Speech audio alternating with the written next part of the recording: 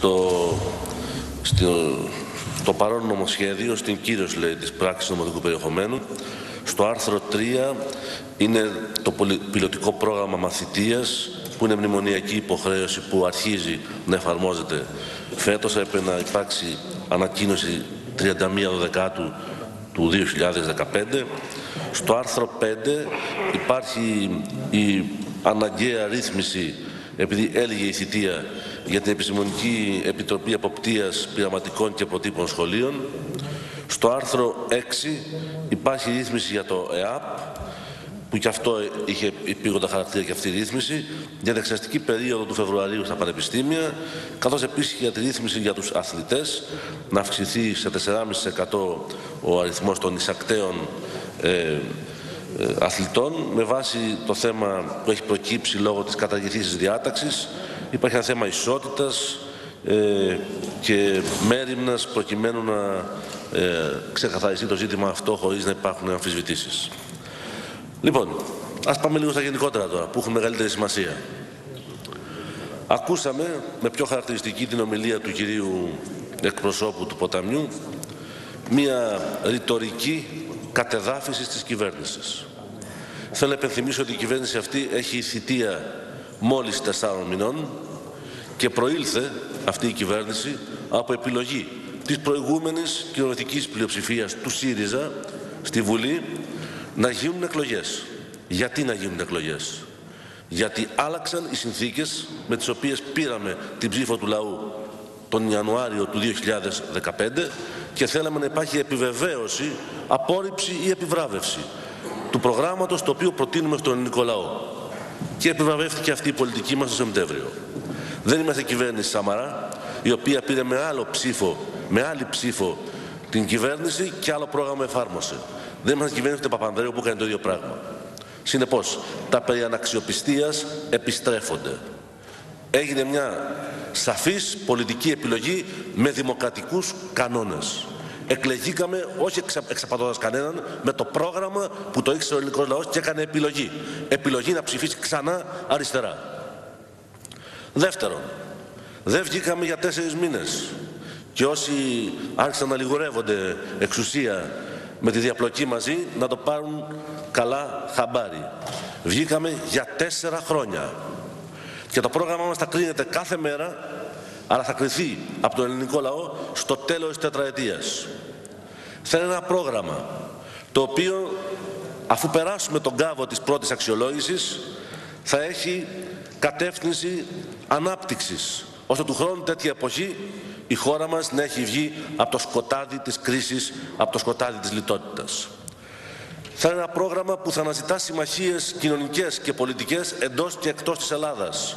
Γιατί και στην Ευρώπη, όπως ξέρετε, με το παράδειγμα της Ελλάδος βρίσκουμε μιμητές στην Νότια Ευρώπη και στην Πορτογαλία και στην Ισπανία, ακόμα και η διαφοροποίηση του Ρέντσι, ακόμα και οι αμφιταλαντεύσεις του, του Ολάντ δείχνουν μια Ευρώπη η οποία προβληματίζεται. Δεν υπάρχει η αδιατάραχτη νεοφιλελεύθερη ηγεμονία των εκοταφείων του κεφαλαίου στην Ευρώπη, των πολιτικών που εφαρμόζει το, το κεφάλαιο στην Ευρώπη.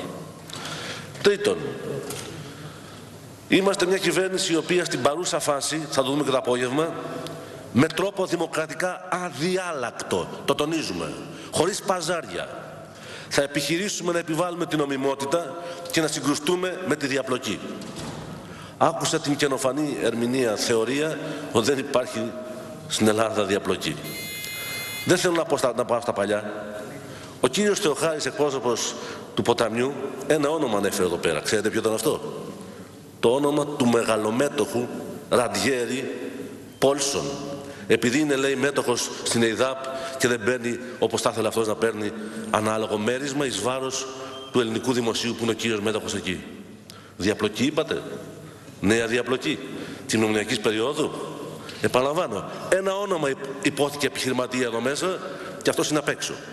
Και το είπε ο κύριος Θεοχάρης προφανώς το είπε κιόλας, διότι κάνουν παράπονα λέει και, και, και η Τρόικα υπέρ του κυρίου Πόλσον. Δηλαδή η διαπλοκή έχει έναν ευρύτερο χαρακτήρα.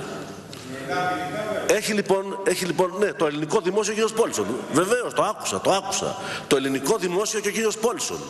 Βεβαίως. Και στην υπέρ του κ. Πόλσον. Να είναι λιγότερα τα χρήματα του ελληνικού δημοσίου. Να μοιράζουμε τα μερίσματα. Αυτό λέτε. Πράγματι. Συγχαρητήρια. Θα τα πούμε και το απόγευμα. Δεύτερον, με διαλλακτικότητα και κοινωνική ευαισθησία και με ικανότητα να συνομιλούμε με τους πολίτες και τα κοινωνικά στρώματα που θίγονται από την κοινωνική κρίση είμαστε έτοιμοι να προχωρήσουμε το διάλογο για το ασφαλιστικό, το φορολογικό και τα άλλα μείζωνα, αιτήματα, ε, μείζωνα θέματα εν ώψη της πρώτης αξιολόγησης. Και όσοι αρνούνται αυτό το διάλογο, δυστυχώς τον αρνούνται εις βάρος των πραγματικών συμφερόντων των κοινωνικών ομάδων που υποτίθεται ότι εκπροσωπούν. Διότι αν τα εκπροσωπούν τα κοινωνικά συμφέροντα αυτά με γνήσιο τρόπο και όχι τα συμφέροντα των ολίγων, των μεγάλων και των ευνοούμενων από τις διάφορες κατηγορίες του παρελθόντος, δεν έχουν λόγο να αρνούνται το διάλογο. Ιδού ο διάλογος, επαναλαμβάνω, το απεχθώς από ο με μεταβατική δυνατότητα διαφορών ρυθμίσεων. Τρίτον, με αυτοπεποίθηση και με σχέδιο εξόδου από την κρίση συνεχίζουμε για να ολοκληρώσουμε την πρώτη διαπραγμάτευση. Επαναλαμβάνω, με αυτοπεποίθηση. Που σημαίνει ότι μετράμε τα λόγια μας και τις πράξεις μας και επιδιώκουμε συμμαχίες εντός και εκτός της Ελλάδας σε μια πολιτική υπέρβαση της κρίσης και της λιτότητας και στη χώρα μας και στην Ευρώπη.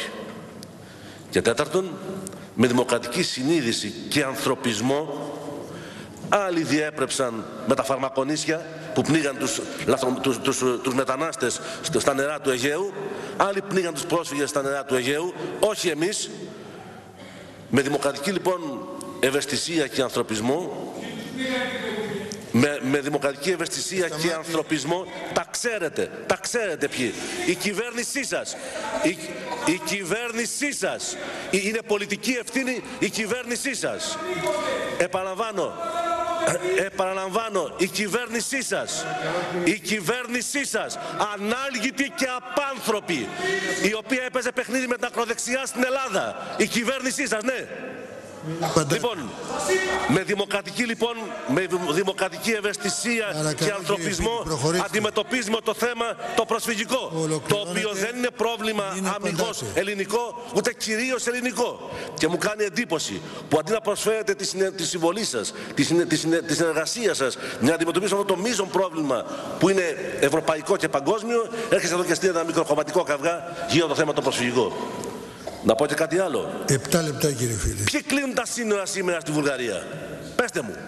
Ποιοι εφαρμόζουν στην πράξη ένα ιδιότυπο Brexit. Μια ιδιότυπη εφαρμογή της Ελλάδος εκτός Σέγγεν. Ποιος; Εσείς.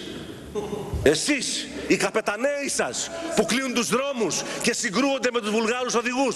Εσείς τα κλείνετε από κάτω τα σύνορα. Είναι η χειρότερη προσφορά σας σήμερα στην Ευρώπη, στην, στην ελληνική, στο ελληνικό πρόβλημα. Δίνετε εσείς επιχειρήματα στους Σόιμπλε και στους άλλους να θέσουν θέμα Brexit της Ελλάδας. Κλείνετε τα σύνορα, τα ταμπονάρετε από κάτω. Δήθεν με κοινωνικά αιτήματα. Απαντήστε, είναι ή όχι τα δικά στελέχη εκεί που εμποδίζουν τη διέλευση. Ποιος εμποδίζει τη διέλευση στα σύνορα Ελλάδος-Βουλγαρίας εν ονόματι δίθεν αγροτικών διεκδικήσεων; Εσείς εγκάθετοι της Νέας Δημοκρατίας και της Χρυσής Αυγής. Αυτή είναι η προσφορά σας. Με το Σόιμπλε χέρι-χέρι. Αυτή είναι η προσφορά σας. Παρακαλώ, παρακαλώ κύριε φίλε. Τελειώνοντας. Ολοκληρώνετε. Τελειώνοντας λοιπόν. Ολοκληρώνετε και μην απαντάτε. Τελειώνοντας λοιπόν. Διασώτες του Brexit στην πράξη και συνήγοροι του Πόλσον μέσα σε αυτή την αίθουσα. Αυτό είναι το ευρωπαϊκό σας πνεύμα. Αυτό προτείνεται σαν προοπτική για την Ελλάδα. Την πλήρη υποταγή στα μικρά και μεγάλα συμφέροντα εντός και στα μέγιστα εκτός. Τα ξέρει αυτό ο ελληνικός λαός. Και παρά τις δυσκολίες που είναι ομολογημένες και το πάθος για να λύσουμε τα προβλήματα δεν πρόκειται να υποχωρήσει σε μία αξίωση την οποία οφείλουμε να λάβουμε υπόψη μας. Κάθαρση. Τελειώσαμε. Δημοκρατική πορεία. Ανάπτυξη της χώρας υπέρ των πολλών και όχι υπέρ των μεγάλων ιδιωτικών συμφερόντων. Ευχαριστώ.